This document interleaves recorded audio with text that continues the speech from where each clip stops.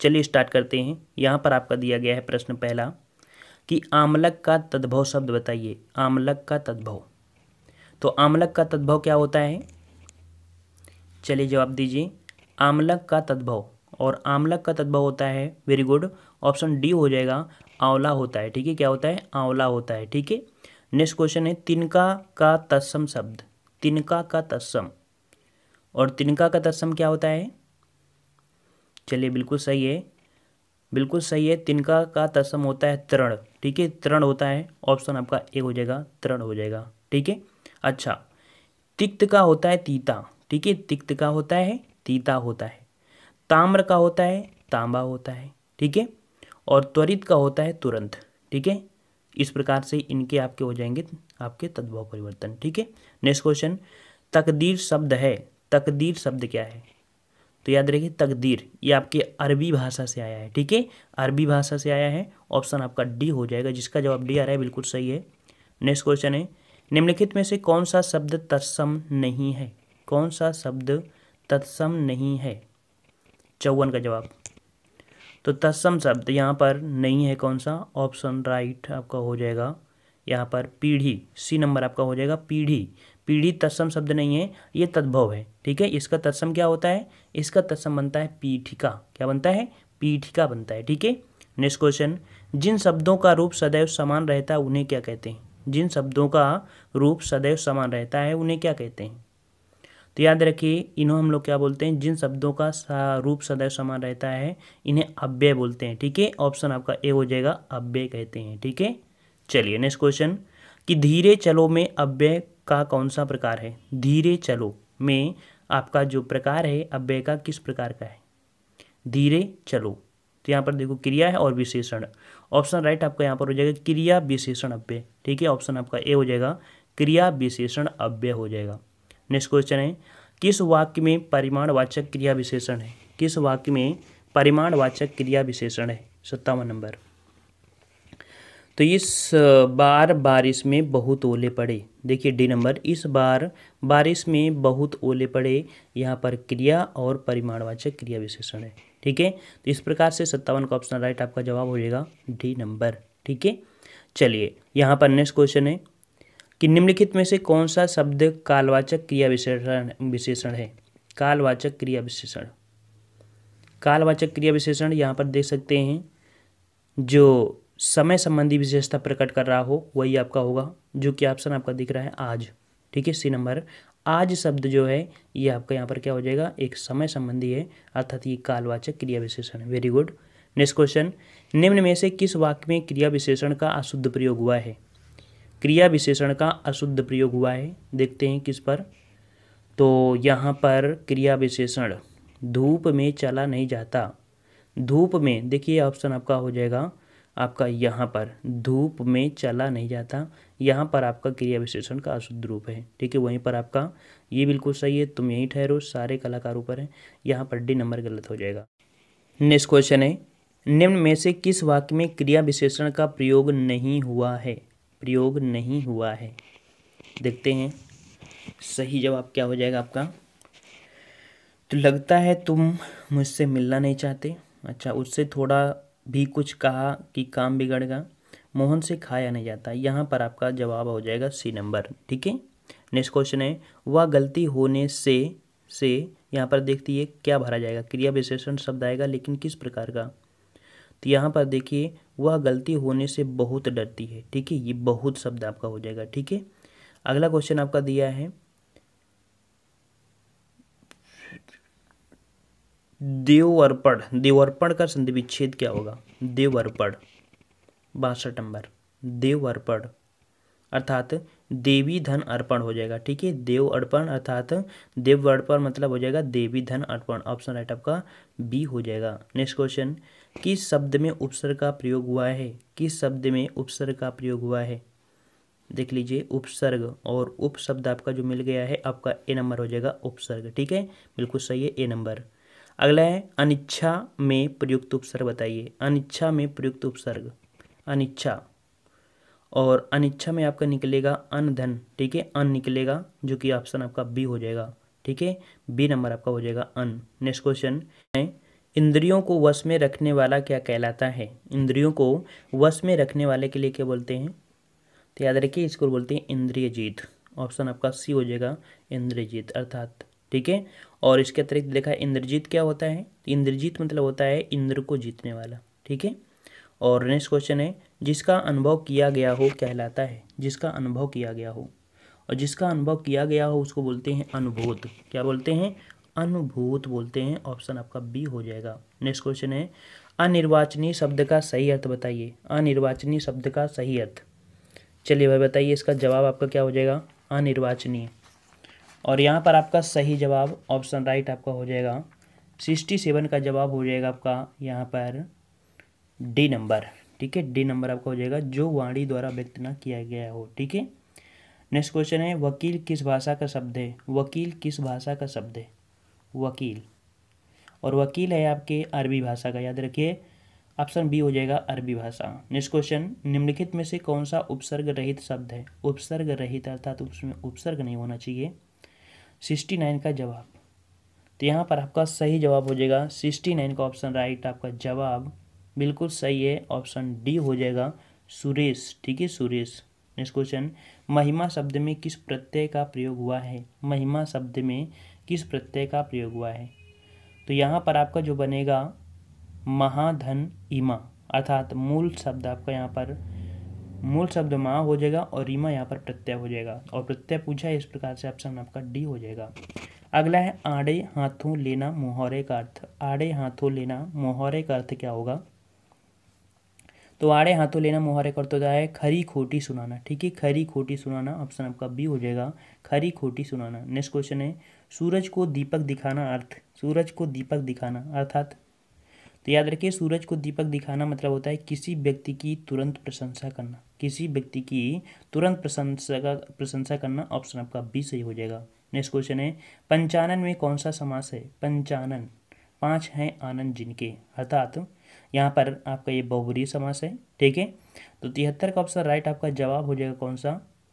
हम्म, यहाँ पर आपका सही जवाब क्या हो जाएगा? बहुबरी समास हो जाएगा ठीक है? नीचे दिए गए शब्द समूह के लिए सही। युद्ध की इच्छा रखने वाला। युद्ध की इच्छा रखने वाला कि क्या बोलते हैं? युयुत्स बोलते हैं, ठीक है? C number Yuyutsu. अगला, दिशाएँ ही जिनके वस्त्र हैं। दिशाएँ ही जिनके वस्त्र हैं। और दिशाएँ ही जिनके वस्त्र हैं, उनको हम लोग बोलते हैं दिगंबर। याद रखिए, क्या बोलते हैं? दिगंबर बोलते हैं, ऑप्शन आपका डी हो जाएगा। नेक्स्ट क्वेश्चन है, नीचे दिए गए शब्द समूह के लिए सही शब्द का चयन कीजिए। वह कवि जो तक्षण कविता करे, वह कवि जो तक्षण कविता करे, यहाँ पर दिया है। और जवाब सही क्या होना चाहिए आपका? तो यहाँ पर इसे बोलते हैं अश्रु कवि। ठीक है? अश्रु कवि बोलते हैं। और कौन सा असु का असु कवि बोलते हैं? असुलिप क्या बोलेंगे? असु कवि बोलते हैं। आसु कवि। ठीक है? आसु कवि। ठीक है? जो नेक्स्ट क्वेश्चन है, तृष्णा का पर्यावाची। तृष्णा का पर्यावाची होता है। तृष्णा का पर्यावाची होता है लिप्सा। याद रखिए, क्या होता है? लिप्सा। ऑप्शन आपका डी हो जाएगा। तृष्णा का पर्यावाची लिप्सा होता है। ठीक है? लिप्सा होता है। इसके और भी होते हैं। अतिरिक्त लालसा लासा लालच, ठीक है? अगला है कि उच्च श्रृंखल का विलोम शब्द क्या होगा? उच्च श्रृंखल का विलोम शब्द क्या बनेगा आपका? तो यहाँ पर आपका विलोम शब्द आपका बनेगा आपका विनम्र, ठीक है? विनम्र ऑप्शन रेट आपका डी हो जाएगा। अगला है वह कथा जो जन साधारण में प्रचलित हो के लिए एक शब्द बताइए। वह कथा जो जन साधारण में प्रचलित हो। तो इसे हम लोग क्या बोलते हैं? इसे बोलते हैं किवंदती, ठीक है? बी नंबर जिसका जवाब बी है, बिल्कुल सही है, किवंदती है। निष्कपट शब्द में उपसर्ग बताइए। निष्कपट में उपसर्ग। निष्कपट अर्थात निस यहाँ पर आपका हो जाएगा निह कपट होता है। तो आपका निष्कपट यहाँ पर कौन सा हो जाएगा? कौन सा? ऑप्शन आपका हो जाएगा सी नंबर, ये वाला। अगला है, प्रत्यय शब्द निर्मित है। प्रत्यय शब्द और प्रत्यय शब्द क्या होगा? प्रतिधन आय। तो यहाँ पर आपका हो जाएगा, प्रतिधन आय और यहाँ पर आपका हो जाएगा सी नंबर। Next question. कि सचिदानंद का संधि विच्छेद बताइए। सचिदानंद बिल्कुल सभी क्वेश्चन पढ़े हुए आपको दिख रहे होंगे। ठीक है? तो सचिदानंद बनेगा सत्य धन चित्त धन आनंद। सत्य धन चित्त धन आनंद। ठीक है? कौन सा वाला? तो देखिए, यहाँ पर आपको जवाब सत्य धन चित्त धन आनंद। यहाँ पर जवाब आपका ऐसा ही हो जाएगा। ठीक है? अगला क्वेश्चन है, यह मुँह और मसूर की दाल का अर्थ। यह मूंग और मसूर की दाल का अर्थ क्या होता है?